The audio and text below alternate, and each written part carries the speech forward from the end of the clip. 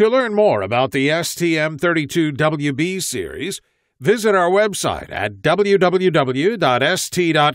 slash STM32WB.